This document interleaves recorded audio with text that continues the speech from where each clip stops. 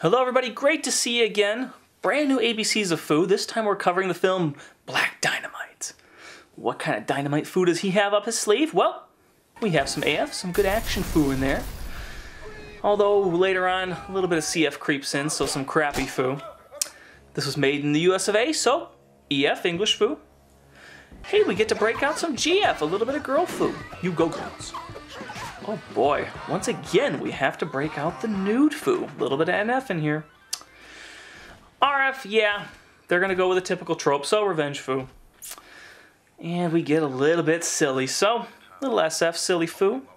And to top it off, Black Dynamite's weapon of choice is nunchucks, so WF, weapon fu. That is the ABCs of fu for Black Dynamite. I hope you will make sure to come back and check out the full review soon. Take care